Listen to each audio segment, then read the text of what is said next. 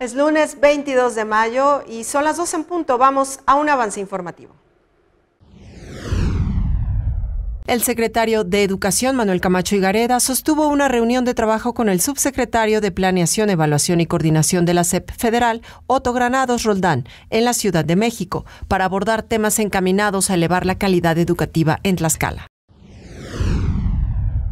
Los sábados en la ciudad capital se instala un tianguis en donde usted podrá encontrar una variedad de productos como de animales de granja, embutidos, plantas, frutas, ropa, alimentos preparados, entre otros artículos.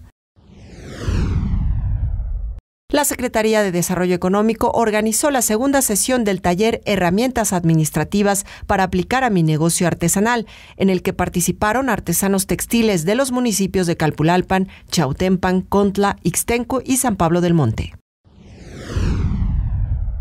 La unidad deportiva Próspero Cahuanzi de Chiautempan estará cerrada dos meses. La razón, han comenzado los trabajos de rehabilitación iniciaron con la cancha de fútbol, la cual se encuentra en proceso de colocación de tierra a fin de hacer que el pasto crezca en zonas castigadas como el círculo central y las áreas. Los gimnasios tendrán cambios. La fecha que se tiene para inaugurar los primeros trabajos será en el marco de la feria anual en el mes de julio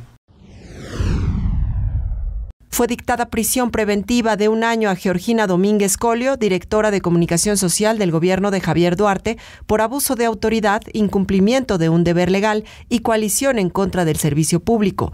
A la ex vocera se le imputa un presunto quebranto de 100 millones de pesos durante su encargo como titular de comunicación social del 2010 al 2014.